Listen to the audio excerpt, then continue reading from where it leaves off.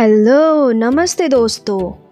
दोस्तों, आज इस वीडियो में कुछ खास देखने को मिलेंगे। वैसे दोस्तों, मैंने आपको सायरा बानू के गाने और अफसाने में सायरा बानू से जुड़ी हर एक बात बताई थी। और सायरा बानू के राजकुमार कैसे बने, दिलीप कुमार में उनकी मोहब्बत, इजहार कैसे हुआ था, वो भी बताई थी। और दोस्तों, आज हम उनकी जीवन के कुछ अनमोल पल देखेंगे। फ़ोटो के माध्यम से।